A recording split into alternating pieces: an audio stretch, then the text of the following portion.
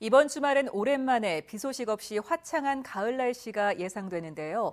다음 주 화요일과 수요일쯤에는 14호 태풍 찬투의 영향으로 다시 한번 비가 내리겠습니다. 유하경 기상캐스터가 전해드립니다.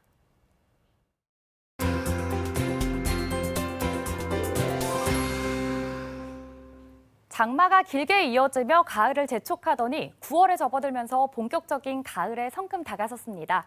수채화 같은 파란 하늘과 뭉게구름이 정말 아름답죠. 가을에는 이렇게 청명한 가을 하늘과 함께 내륙 지역에는 아침 안개를 자주 만나실 수 있는데요. 가을은 낮과 밤의 기온차가 크기 때문에 낮 동안 따뜻해진 공기가 밤이나 새벽에는 낮아집니다. 이때 공기 중에 수증기가 차가워지며 응결하여 안개가 생기는 건데요.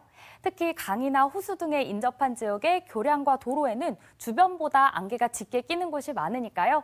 가을 출근길에는 차량 운행 시 차간 거리를 충분히 유지하여 안전 운행해 주시는 게 좋겠습니다.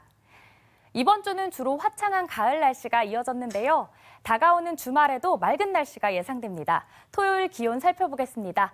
대구의 기온 19도, 영주 18도, 안동 18도로 출발하고요. 한낮 기온 살펴보시면 대구 30도, 포항 28도, 안동 29도로 매우 높은 날씨 보이겠습니다.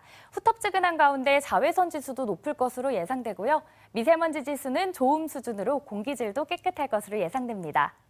다음 주에는 일교차 큰 가을 날씨가 이어지겠고요. 14호 태풍 찬투의 영향으로 화요일과 수요일에는 비가 내릴 가능성이 있습니다. 날씨였습니다.